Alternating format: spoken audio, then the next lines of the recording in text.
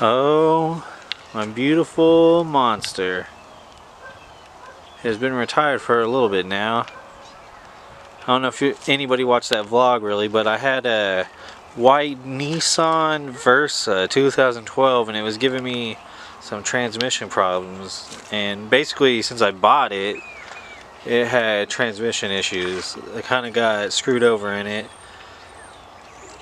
But today is a new day which I'm very happy about. I only got to take this car here on one really adventure and if you've been watching my channel or just know me in general you know that I liked adventure.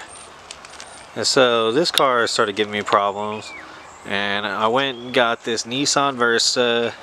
I don't know if I just repeated that twice but went and got this Nissan Versa to fix my problems so I can travel I got a lot of bucket lists I'm trying to knock off and well it started having those transmission problems I was talking about.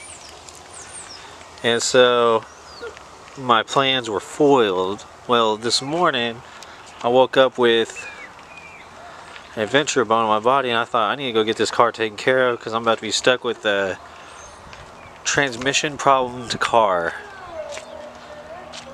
I wonder if y'all can hear what I'm hearing. There's like a football game or something nearby.